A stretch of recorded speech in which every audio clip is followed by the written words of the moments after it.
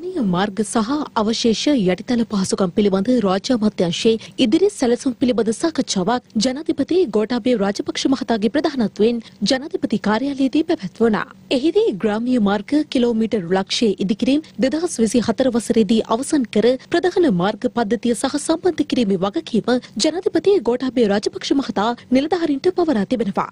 එමෙන්ම කුඩා පාලම් වැල් පාලම් සහ ඒ දඬු වෙනුවට නව පාලම් ඉදිකළ යුතු බව ජනාධිපතිතුමා මෙහිදී පැවසුවා. ගත වූ මාස කිහිපය තුළ මාර්ග කිලෝමීටර් 8000ක වැඩ ආරම්භ ඇති බවත් ඉන් මාර්ග කිලෝමීටර් 400ක ඉදිකිරීම සම්පූර්ණයෙන්ම නිමා කර ඇති බවත් ජනාධිපතිවරයා මෙහිදී අවධාරණය කළා. ප්‍රධාන මහා මාර්ග දෙපස විවිධ වර්ගවල පැල මිලියන දෙකක් රෝපණය කිරීමටද එම සාකච්ඡාවේදී තීරණය කෙරුණා. එහිදී සියලු ප්‍රධාන මාර්ග දෙපස පදික වේදිකාව මත වාහන නවතා තැබීම සම්පූර්ණයෙන් නතර කරන්න යැයි ජනාධිපතිතුමා විසින් උපදෙස් ලබා දෙනු ලැබුවා. මහල් නිවාස සංකීර්ණ වෙළඳ මධ්‍යස්ථාන ඇතුළු ගොඩනැගිලි ඉදිකිරීමේදී රථ වාහන ගල් කිරීමටද ඉඩ පහසුකම් සැලසීම අනිවාර්යෙන් කළ යුතු බවද ජනාධිපතිවරයා මෙම සාකච්ඡාවේදී නිලධාරීන්ට උපදෙස් ලබා දුන්නා.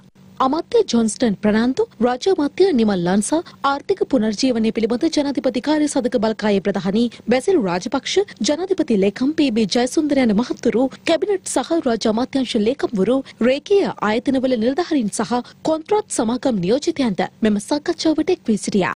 දිනපතා අලුත් වීඩියෝ සහ ප්‍රවෘත්ති නැරඹීමට ඉහත බටන එක ක්ලික් කර සියත TV සබස්ක්‍රයිබ් කරන්න.